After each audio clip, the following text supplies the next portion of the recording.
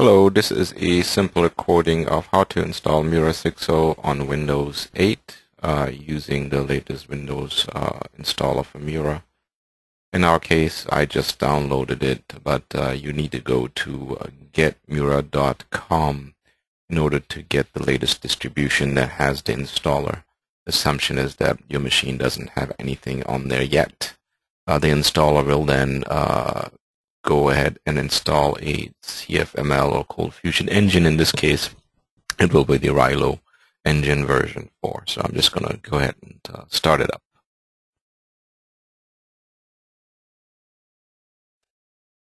I'm going to confirm the Windows user account control warning in this case and proceed from there to answer the questions. So I'm just going to uh, accept the license for the uh, open source version here. And just accept the defaults in most cases. I'm going to uh, let the administrator be admin, provide a password that is uh, going to be used for both Tomcat as well as Railo administration. And I'm going to start it as default and I'm going to say go ahead and install.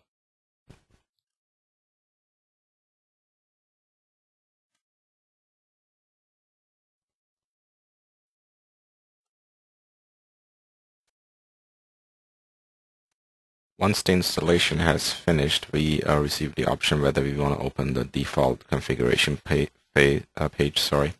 The Mura installation has two phases. One is the deployment of the CFML engine if necessary and the uh, CFML code. The second part is actually uh, within the Mura system itself. Once it starts up, it is the configuration of the initial site. So that's what uh, this checkmark is really referring to. The um, Mura system will start with the Mura setup page, then that's which is the start of the second phase. In our case, we will select a MySQL database, which I have installed locally.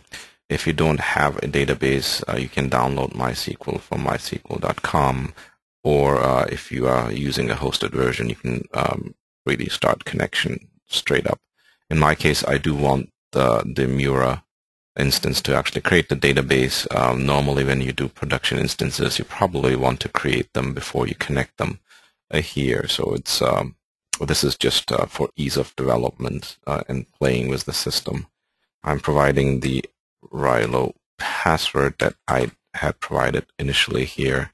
The database is right here. I think my username is this. And I'm just going to leave uh, the information as is and we will uh, provide this type of address and I'm going to just uh, use the defaults. Then I click the Save Settings. Mura will now go ahead and create the database and populate it with the base data to get the system started. Once the system is started, I will actually receive a uh, confirmation that we are ready uh, to go and also receive a warning that it might be probably wise to remove the setup directory and uh, make the configuration from then on in the settings.ini.cfm file directly, which should, you should uh, consider highly in order to make your system secure and not changeable thereafter by somebody else. So here um, I'm just going to hit login to Mura. Once the initial configuration in the second phase has completed, you're ready to log into the uh, Mura system and uh, start administering your content management uh, system yourself. So I'm just going to use the default login um, to make sure we can get into the system. And there we are. And uh, we are ready to configure uh, our users, our sites, and so forth, and uh, get going and operating with Mura. I'm going to do one more thing here is actually I'm going to uh, show you how to create a completely separate instance of Mura on the same machine Normally this is only done for development purposes or for testing of some sort. So um, what we'll do is we actually will restart the uh, installer one more time.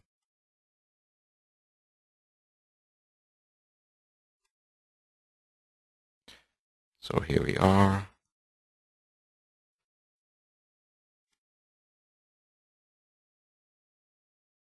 And um, when the installer set starts a uh, secondary, uh, a se second time, um, it will actually detect that we've done an installation before and everything is available, and it will give me a uh, alternate name for the instance.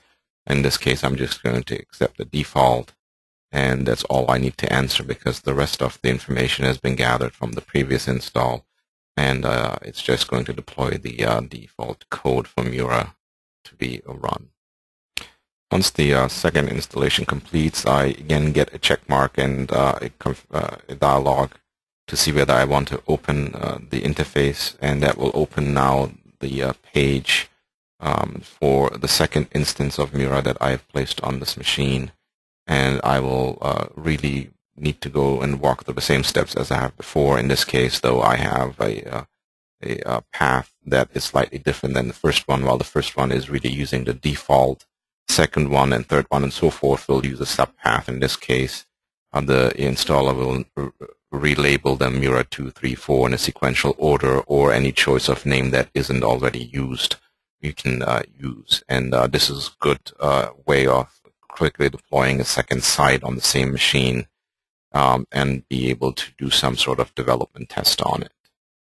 Uh, that's all there is to it to get Mura set up and running on Windows 8, uh, Mura 6 with Railo 4.